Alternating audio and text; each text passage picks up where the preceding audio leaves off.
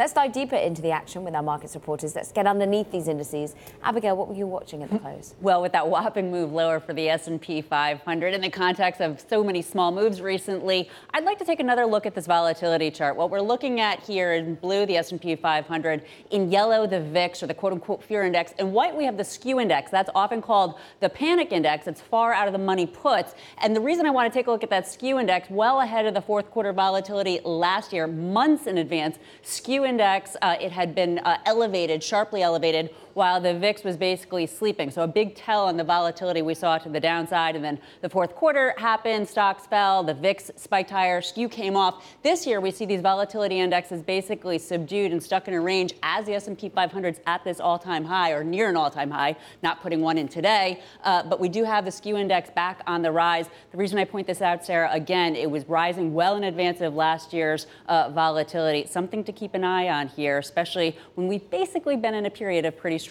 complacency, Sarah. Abigail, well, I've been watching the all telling yield curve. If you look at the spread between two year and 10 year Treasury yields, we're seeing a flattening today for the sixth straight day.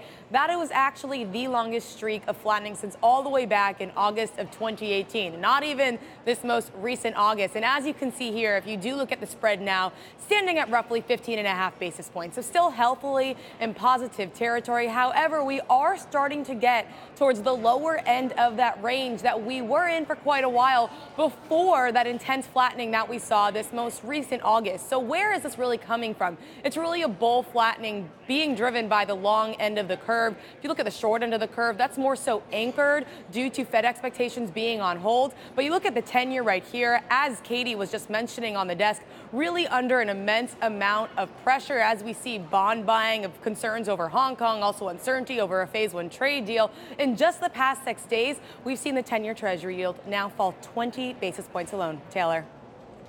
Well, I am taking a look at the S&P 500 and with record highs earlier this week, even with a little bit of that pullback today, you're looking at valuations that are near those cycle highs. If you come and take a look at a chart that I'm showing in my terminal, it is all about that forward PE ratio coming in now at 17.6 times. You have to go all the way back to February of 2018 to get the ratio this high again. Interestingly enough, RBI analysts say it was not all scary news going into the earnings season. On the price side of things, uh, the third quarter earnings has been very solid in the past few years, so that is expected to move the numerator higher.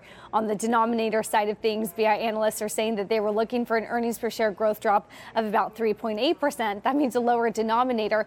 All of those factors means that forward PE ratio still climbing a little bit higher.